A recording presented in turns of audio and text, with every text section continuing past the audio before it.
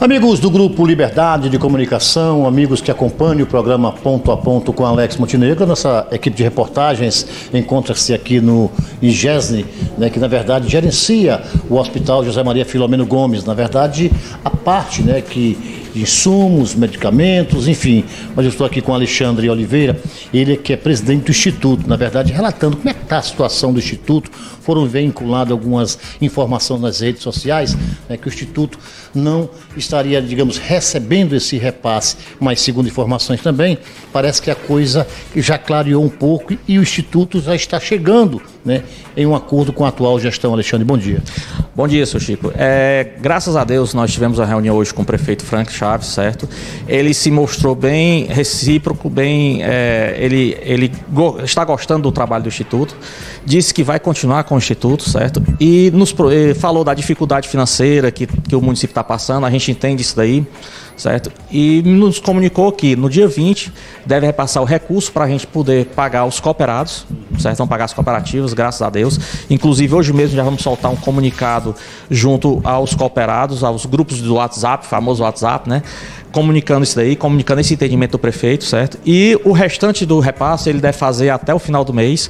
Com isso, ele vai é, quitar a parcela do mês de dezembro, certo? E no começo do próximo mês ele já disse que vai normalizar, vai vir normalizando os repasses. Graças a Deus, o, o hospital vai continuar funcionando muito bem, certo? O prefeito se sensibilizou com a situação, ele sabe da importância certo? Do Hospital de Pacajus. E vamos continuar o nosso trabalho, procurar melhorar cada vez mais e mais o serviço prestado à população de Pacajus através do hospital, certo? E eu só tenho a agradecer à administração do prefeito Frank Chaves por ter nos recebido e por ter e por atender esse nosso pleito, né, de continuarmos e continuarmos fazendo esse trabalho que eu sei que é difícil, é um trabalho árduo, né? Tem muita coisa para se fazer junto ao hospital, muita mesmo. A gente reconhece isso, já fizemos também muito. Só que saúde é imprescindível e saúde sempre vai ser pouco que você botar em saúde. Se a gente, se o município de Pacajus tivesse a condição de botar 5 milhões de reais por mês no hospital de Pacajus, ainda seria pouco. 1 milhão e 84 mil, certo? Que é o nosso contrato de gestão, certo? É um valor razoável. Muita gente que está fora acha muito, agora vai para dentro, né? É. Você olha assim, é Ave Maria, é muito dinheiro. É muito dinheiro se eu fosse, se a gente fosse custear as despesas de casa. Uhum. Para a despesa de casa, uma casa normal, é dinheiro que nem presta. Mas para você custear um hospital do porte do Hospital de Pacajus, com três médicos atendendo diariamente, certo? Três não, na verdade nós temos cinco médicos lá. Porque tem um médico prescritor, tem três clínicos e tem também o obstetra. O número de médicos que vem atendendo já nessa gestão Frank Chaves é o mesmo número que vinha atendendo na gestão Bruno Figueiredo? O prefeito Frank Chaves, ele, através do diretor clínico, né, é, é, pediu ao diretor clínico do hospital que aumentasse mais um médico à noite e mais um médico no final de semana, certo? Isso daí vai onerar muito a nossa folha. Eu conversei com ele, infelizmente ele, ele, ele quer continuar com essa situação, né? Vai me apertar financeiramente, mas vamos buscar honrar isso daí o melhor possível, certo? É difícil. Porque você chega de noite, no período noturno, são atendidos no máximo 70 pessoas. Aí você ter três médicos atendendo 70 pessoas é um negócio assim. Mas vamos tocando o barco. Vamos cada, tocando cada barco. médico tem a sua maneira de atender, né? Uns são mais é, é, é bem mais rápido, outro é mais é, vagaroso, enfim. É, o profissional é que sabe o tempo que é determinado para cada atendimento, né? Pois é, Chico, mas o que acontece é o seguinte: quando você vai para uma média porque o médico ele fica 12 horas de plantão, certo? Aí se você vai ver lá a média e o, e o médico, ele, se ele atender, em média, 5 pacientes, ele vai atender sozinho 60 pacientes no plantão dele. 5 pacientes por hora. Certo? Se você botar 4 pacientes por hora, ele vai atender 48 pacientes. Isso já é o levantamento, né, Alexandre? É, não, eu tenho isso daí, eu tenho todos esses números, certo? Então, tem uma média que se um, se um médico ele atende 60 e o outro atende 20 naquele plantão, esse de 20 tá complicado para mim. Eu tenho que chegar para a direção clínica e pedir para ele mudar. Certo? Porque, aquele, porque o que é que acontece? Esse daqui de 20 está se escorando no que está atendendo 60. E tem que haver um, um equilíbrio nesses atendimentos. O certo é haver um equilíbrio certo? Isso é fundamental, certo? Até mesmo porque, às vezes, o, o, o, o, usuário do hospital, certo? Ele está lá aguardando, fica aguardando meia hora. Não... Por mim, o usuário só vai esperar 10 minutos, 15 minutos, 20 minutos, certo? Às vezes ele espera uma hora, duas horas. Por quê? Porque existe um médico mais vagaroso, certo? Não estou querendo que os médicos só olhem para a cara do, do, do, paciente e já dispense. Não, certo? Eu quero que ele atenda, mas atenda de forma coesa, certo? Passe o que for necessário, tanto de medicação como de de exames e assim nós vamos trabalhando. Pacajus é uma cidade à parte, Alexandre, me permite, porque tinha um médico aqui que já deixava as receitas prontas, fazia só colocar o remédio, quer dizer, aí também já é um absurdo, né? Ave Maria. Existem casos absurdos mesmo, tem, tem, tem, tem pacientes né, que vêm aí só para pegar atestado, atestado. E pelo amor de Deus, você está tirando o lugar de outra pessoa que está precisando. Uhum certo? A gente tem que ver isso aí. É igual como a questão do Bolsa Família que estava no governo federal, né? O, o, tinha gente que com condição recebendo Bolsa Família, enquanto que gente que sem condição estava sem receber. Certo? Desigualdade social tremenda. Né? Então, nós, a gente precisa da compreensão da população, certo?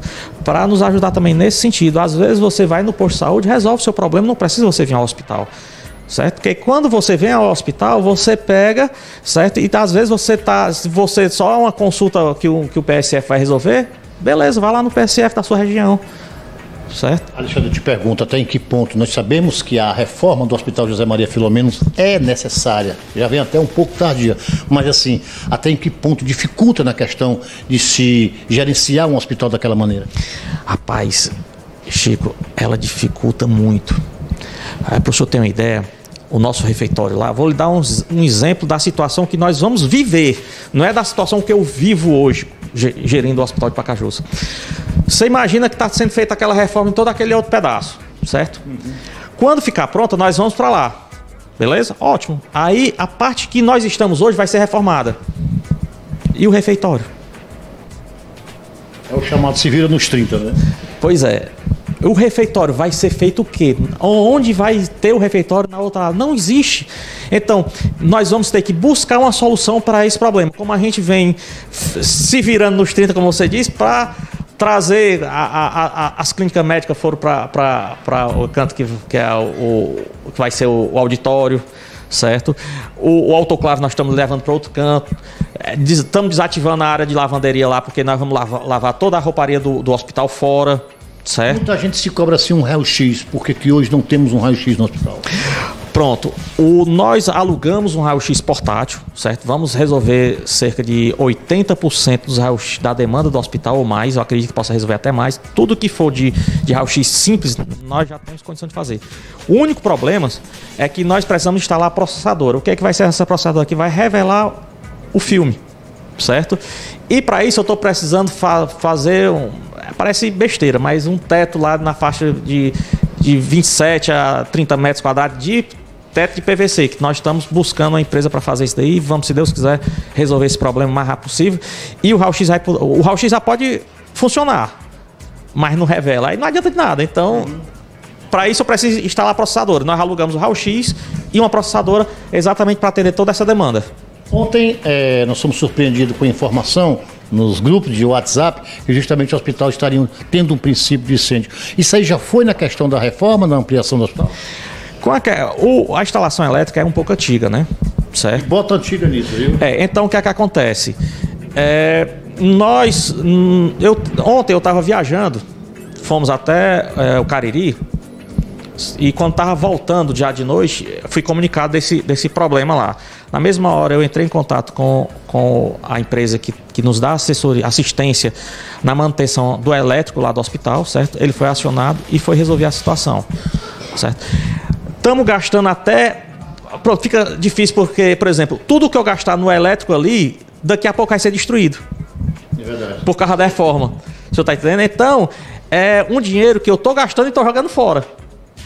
E tem que se gastar. Você está entendendo? Tudo aquilo que você gastar não, não lhe retorna de alguma forma, não importa se alguma. Não. Gastou, tchau. Gastou, tchau. Ali. tem aquele X para gerenciar durante todo o mês, não é isso? Tenho, eu tenho, é, a gente recebe o contrato para gerenciar, para gerir o, o, hospital, certo? Todas as compras, os insumos e, e, os gastos do hospital, certo? Com uma manutenção aqui do escritório, porque o escritório ele funciona basicamente para dar suporte ao hospital, certo? Tudo isso é gasto com esse recurso certo? O recurso ele é, ele é o número é bonito, que é grande, né? Muito dinheiro, certo? Mas na verdade, quando a gente vai para o frigir dos ovos, seu Chico, ele se torna pouco. Porque a gente precisa fazer mais pela saúde de Pacajus, mais pelo hospital de Pacajus. E a nossa intenção é melhorar cada vez mais o serviço. Quando a gente receber aquela reforma, certo?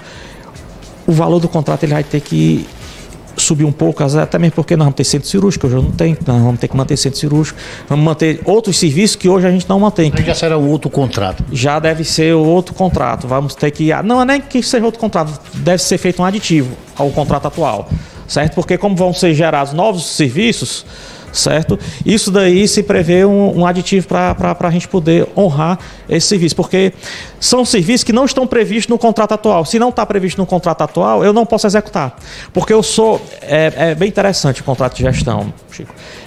Eu sou preso, certo, a gastar o dinheiro apenas naquilo dali. Eu não posso gastar fora daquilo ali, certo? Não posso de forma alguma gastar fora daquele, daquele, daquele do hospital em si certo? Mas eu também sou preso aos serviços que já estão, eh, já estão especificados, certo? Então, como não tem a atividade, a, a, a geração, a, o centro cirúrgico, certo? Não está incluso no nosso, no, no, nosso, no nosso rol de serviço. Para a gente incluir, a gente tem que precificar o funcionamento do centro cirúrgico, certo? E assim vai. Por exemplo, a questão da limpeza. Você há de convir comigo que o gasto de limpeza de um pedacinho é diferente do gasto de limpeza do todo. A própria limpeza vai aumentar, vamos ter mais, vamos ter que ter mais cooperados lá trabalhando, certo? Com isso vai aumentar o custo de folha e assim sucessivamente. É importante salientar que todo esse nosso bate-papo, vamos dizer assim, porque na verdade aqui é uma entrevista, mas é um bate-papo de esclarecimento acima de tudo, porque na verdade revelando e tornando público tudo aquilo que a população por muitas vezes não sabe, né, Alexandre? É, com certeza. A gente busca, nós nós buscamos fazer, o, a princípio, buscar fazer o serviço para apagar os incêndios do hospital, certo? Os incêndios, não estou falando do incêndio de ontem, não. Uhum. Os incêndios são problemas pontuais que existem, certo? Você às vezes chegava lá e não tinha um soro, ou seja, não tinha a gás, não tinha isso. Isso daí a gente resolveu. Tamo, vamos resolver a limpeza do hospital, vamos resolver a questão de rouparia do hospital. São todos problemas pontuais, certo? Que a própria reforma nos atrapalha, como você disse, atrapalha muito certo? Mas a gente tem que aprender a conviver com ela. Se é um problema, tem que buscar a solução. Com certeza. E urgente. Urgente. Porque se você não se antecipar ao problema, certo? O que é que vai fazer? O problema estoura. Se o problema estourar, meu amigo, às vezes é tarde. Certo? Obrigado pela entrevista. Eu só tenho a agradecer, espero que, que, que os cooperados que trabalham com a gente lá no hospital é, entendam a situação, certo? O, a administração prometeu de fazer o repasse no dia 20. No mesmo dia 20, a gente repassa o, o, o pagamento à cooperativa e a cooperativa, na mesma hora, já dispara o pagamento para os cooperados. Então, e vamos voltar à normalidade com os cooperados, vamos atrás da normalidade com os fornecedores de medicamento, com os fornecedores de oxigênio, com o fornecedor de gêneros alimentícios, com o fornecedor de. diversos outros fornecedores, que fornecedor é que não falta. Conta que não falta para pagar, né? Para a gente manter o hospital funcionando. Ok, está aí a participação do Alexandre Oliveira, ele que é, é presidente da IGES, né, que gerencia né, o Hospital José Maria Filomeno Gomes. Eu acho que é importante salientar. Eu acho que nesse momento aqui tem que deixar de lado a bandeira política, independente de quem seja o prefeito. Essa instabilidade que bem falou Alexandre é justamente o que ocasiona essa situação uma transição de um prefeito para o outro, ah, eu não vou pagar ou coisa parecida. E gera essa instabilidade. E quem paga acima de tudo, quem paga o pato, quem é? É sempre a população, né, Alexandre? Pois é, nós somos uma entidade totalmente apolítica. Para mim, tanto faz estar o prefeito Frank Chaves no poder como o prefeito Bruno Figueiredo. O que a gente quer é prestar o melhor serviço possível à população de Pacajus, independente da sua bandeira política, certo? Que quem tem que sair beneficiado com o melhor funcionamento do hospital, certo, é a população. E, consequentemente, o gestor que tiver lá na cadeira de prefeito, ele vai colher os louros. Uhum. Né? Se o, a administração Flank Chaves mantiver o, o, o Instituto trabalhando o melhor possível e assim sucessivamente, quem é que a população vai agradecer? Não vai ser ao Instituto, vai ser ao prefeito Frank Chaves. Como do, da mesma forma, o ex-prefeito Bruno Figueiredo vinha fazendo mantendo o Instituto, pagando o Instituto, o Instituto vinha honrando os compromissos, o serviço vinha sendo prestado, como vem sendo prestado, nós não, nós não paramos o serviço de forma alguma. Certo? Seguramos o serviço, estamos segurando o serviço, certo? Sentamos agora com o prefeito, o prefeito entende que é da necessidade, certo? Se mostrou solidário com, com a situação e vai honrar o compromisso do município para com o Instituto e o Instituto vai continuar honrando o compromisso para com a população. Meu compromisso não é com A, com B, é com os habitantes de Pacajus. Estamos à disposição. Qualquer coisa é só nos procurar. Ok, esperamos que ter contribuído com informações, esclarecimentos nesse tocante aí sobre o gerenciamento do Hospital José Maria Filomeno Gomes, com imagens de Samuel Vitor, Chico Neto para o programa Ponto a Ponto na TV.